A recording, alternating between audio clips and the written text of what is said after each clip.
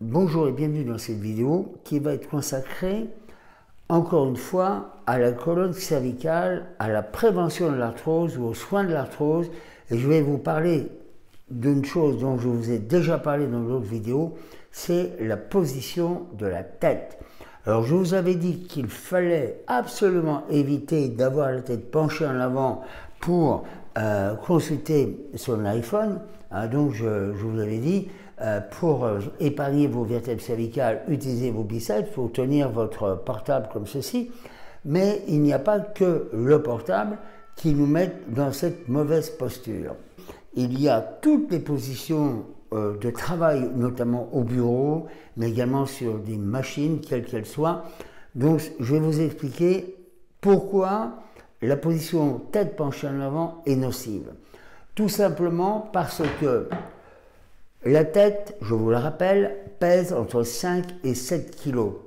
Cette tête repose sur des vertèbres très souples, mais très fines, très vulnérables, qui sont séparés par des disques, donc des disques intervertébraux, qui sont bien entendu très résistants, mais fragiles si on les surmène. Et vous allez comprendre tout de suite pourquoi il faut faire très attention aux postures, à l'ergonomie?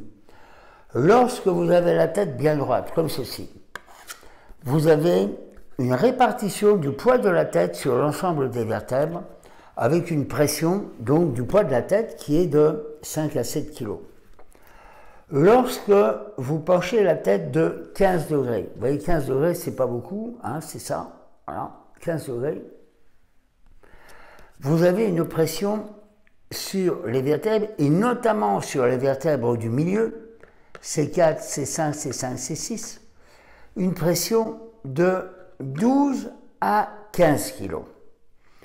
Si vous avez la tête à 30 degrés, vous aurez une pression sur les disques vertébraux de 18 à 20 kg ou plus.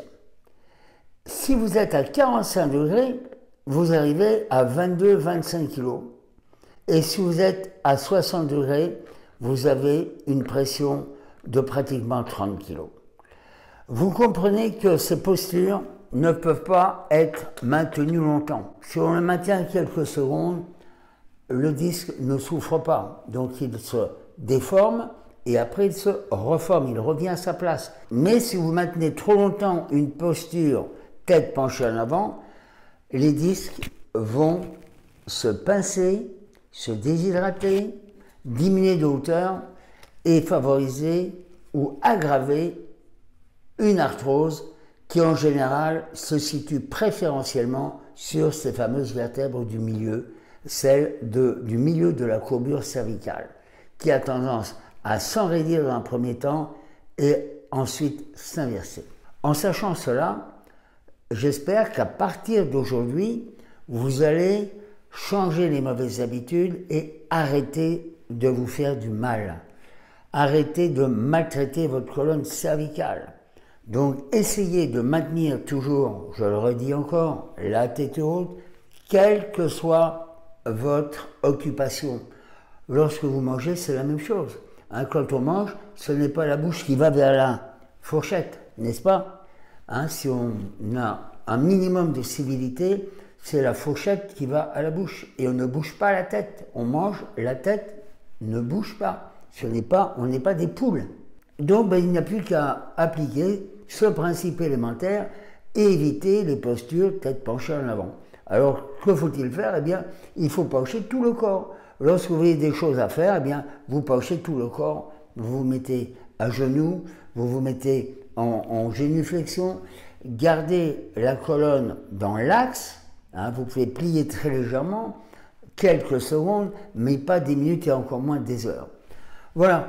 Donc c'est une petite vidéo de rappel sur la physiologie de la colonne cervicale. Tout cela est dans ma formation sur la prévention euh, de l'arthrose cervicale, donc qui est en préparation, qui va bientôt être en ligne sur Internet. En attendant, commencez déjà à mettre en pratique euh, mon programme anti-arthrose et votre colonne vous dira merci. Voilà, c'est tout pour aujourd'hui. Je vous souhaite une très bonne journée. Prenez soin de vous.